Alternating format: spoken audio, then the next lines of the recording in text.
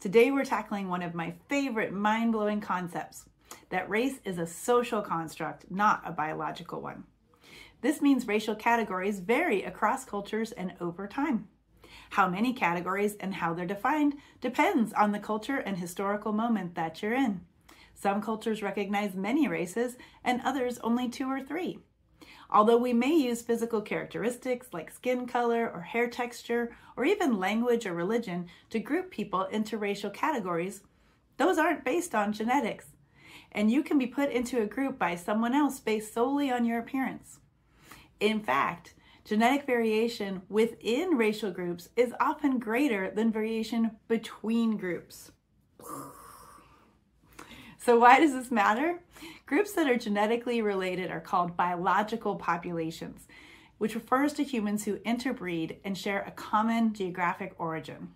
Learning if someone is from a particular biological population can be important for identifying inherited medical conditions like cystic fibrosis or sickle cell anemia.